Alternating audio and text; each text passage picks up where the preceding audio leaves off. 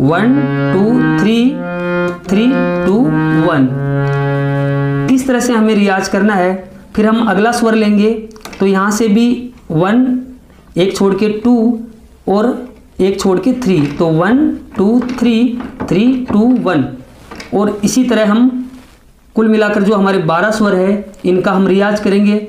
लेकिन देसी तरीके से करेंगे और कैसे आपको गुनगुनाना है स्वरों के साथ में और जो स्वरों का उतार चढ़ाव है उसको कैसे समझना है, वो आप इस लेसन के माध्यम से सीख पाएँगे। तो आइए शुरू करते हैं। सबसे पहले पहली कहानी से करेंगे।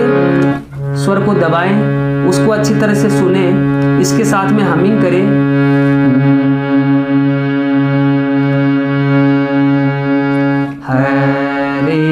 कृष्णा, हरे राम, जय श्री कृष्ण।